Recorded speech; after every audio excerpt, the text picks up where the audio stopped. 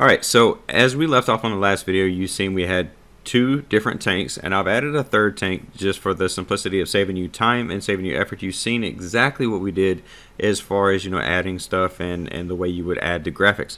Now what I want to do here is explain the process. Now if you have experience in food and beverage you would understand that making soda or anything for that matter like Coca-Cola, Pepsi or any kind of, of the high brands you would know they have a master batch, right?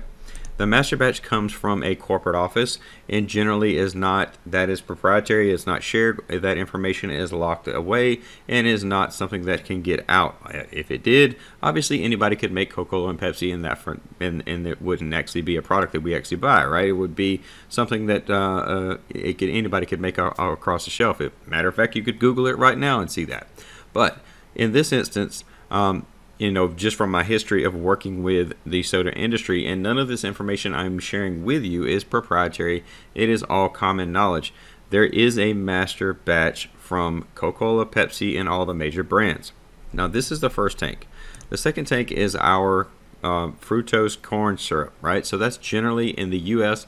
what we use to actually you know mix the sugar or the sugar element inside of the actual product right so would they do a premix, and this premix in, in the mixer has three major components. It has caffeine, so I've added a caffeine uh, tank. We have caffeine, we have the master batch, and then we have the fructose corn syrup. So these three components are what's going to make up the core batch, right? This is the core batch we're batching up here, and it's going to go into our finished product. That finished product would then, in turn, go to a filler where they add the other components like the um, caf or not the caffeine, but the carbonation and the water. So they add a little bit of water to it and they carbonate it right there at the actual filler so that they get the, the best product they possibly can. That's the way they get the freshest product, right? So their goal is to have the freshest product go into the actual uh, can or bottle in that instance. So I just wanted to give you a real world example of why we're making the batch the way we currently are. So hopefully that gives you a, a solid understanding. Like I said, I didn't want to actually bore you with, uh, you know, you know, adjusting these tanks or moving these tanks and stuff like that. I wanted to actually come in and, and just basically give you a, you know, we, we, we've built it out. We've seen how to build it out. We've seen how to structure it. We've seen how to use some of the navigations and stuff up here. Now, all we did was basically copy one of these tanks, put it over here, copy the stuff over here, put it over here. Now I did not put a pump for the caffeine because generally they have the caffeine pretty high or something like that and it would just gravity feed in. It is actually monitored by a micro motion meter. So in that, that case, we're actually going to show indicators on this, right? So we're gonna we're gonna come back and put our indicators on this screen. But first, what we want to do is go ahead and start doing some of the programming as well. But um, before we get into that, let's go ahead and add a, another couple elements. We're going to do a draw, we're going to do a text, and then we're going to come in here and call this, we'll call this AV01. So AV slash 01. And this is going to give us the indication of what it is, right? So we can bold that if we want to. Um, I kind of like it where it's not bold. Um, obviously, maybe even like a smaller font um, maybe like a 9 so you can kind of get all your elements in there. Now once I get that done, right, once I get the first one done, I'm going to place it where I want it and then copy it. And well I copied the wrong thing so let's make sure you grab the right thing. I'm doing control C or you can just come up here to copy and then paste right? And then as we paste it we're going to come over here and throw that over here we're going to align these two up so that we get the proper alignment. Again, alignment is always critical. Now we're going to call this AVO2. Okay, so now we can understand that there's AVO1, there's AVO2, and now we're coming in and kind of giving our elements of interaction. So I'm going to basically come in and kind of give a schematic about where what things are. Like if you're if the person is looking on the screen, say it's a maintenance technician or if it's an operator, they can tell you, hey, AVO1 did not open, or AVO2 is open, or AVO2, you know, whatever the case may be, faulted out for that matter, right? So what we're doing here is basically giving a indicator about what's what, right? So we're, we're telling it what tank it is, what valve it is, and now we're going to copy that again. We're going to control C, just because it's easier, and control C, and then we're going to come in here and put this down here, and this would be our AVO. Well, actually, let's come in here and, and let's put them in here. Um, let's just put all of them in here right now. So this would be another, and then we'll have one more. And depending upon where you're you're copying and pasting from, that's where it's, it's going to end up. Right. So then we have another one, and then this will give. Let's see. Kind of looks a little clearer over here. So you don't want to collect like stack things on top of each other. So we, we definitely want to give a good indication of what's what. So this would be AVO1, AVO2.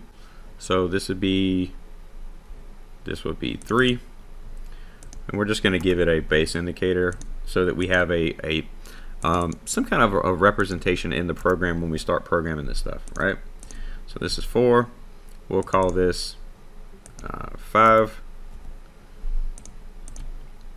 and then we'll call this 6 and then this will be 7 okay so now we've added the highlights of you know calling our our control valves in this in case AVO1 AVO2 AVO3 all the way up to AVO7 we can do the same thing for our pumps too so we can copy this being that we have the font and everything the sizing properly we can copy and paste again I'm a big fan of that because again, it does give you the prime indicator of you know keeping things looking really good. Now we'll change the the font here. We'll call this pump one, right? And then just to keep it really, really, really simple, pump one. We'll copy that and paste that again. So Control C, Control V, and then this one over here would be pump three. So we have three pumps. So this would be pump three. We'll change the writing. Pump two right here. This would be pump three right here. And we'll change the writing so now we have that. So now we have our pumps. We have indicators telling us what's what and we do have a solid layout about what's what. You know as far as understanding, you know, okay, so now we can come in here and say, okay, so on the uh, caffeine tank, if we want to turn the AVO5 on, we can control that basically through the program and do that just that simple, right? Same thing with the pump, same thing with AVO1. So obviously you would want to cut on AVO1 before you cut on the pump, and then as you cut on the pump, based upon your flow, you would cut on AVO3. Now we're doing this indicators right here just to show you simple little small steps to show you how things are done with the HMI. Now again, some of this stuff is really really common knowledge. Some of this stuff is really easy to do, but making it look and, and be presentable is really where the key thing is. Right? Being professional with what you do is the key to it. Now anybody can you know throw something together and sometimes it's just a matter of like changing the font, right? Like changing this font right here. We hit properties, come over here, change the font size, or even maybe not bold it, right? So if I don't bold it, you can see the, the difference in there. So this is the caffeine tank. Now, to me, it kind of stands out a little bit better if it's bold. So I like to keep it bold. Maybe I'll change the font or whatever the case may be. Maybe I'll change it down to a 10 um, for that matter. But it is indicator. You know, it, like if it's if I, if I think it's too big or if I think it's too bulky, then I'll come over here and change the font or I'll change the size, right? So this, I mean, that does kind of look a little bit better. So it really depends on how you would like to see it working and uh, just, I mean, we all have the aesthetics, right? The aesthetics is probably the hardest thing to, you know, grasp. So this is why I say, okay, come in and do your first layout and then come back and do your aesthetics. Make sure that it looks good. Because, like I say, anybody can come in here and, and program this, or anybody can come in here and, and make this, you know, look good as far as, you know, like maybe the or make a couple layouts and stuff like that but it's the small little details the small little things that you want like just changing the size making sure the lines are lined up where we did the, the line line up right here just keeping that black line the same Um, just the same thing, right? Just and making sure you do things properly, it really makes the difference, right? And even this, we can change the size of this if we wanted to, make make our pump bigger or make our agitator bigger. So you see we, we made our agitator right here. We actually thickened this line a little bit to make it, you know, that much more, I don't know, it just looks like a, a solid shaft, right? It looks like something that it just fits better, right? Now this is giving you a base indicator. You could take as much time as you wanted to making this as professional as you wanted to, but again, the more professional you do, the more time it takes.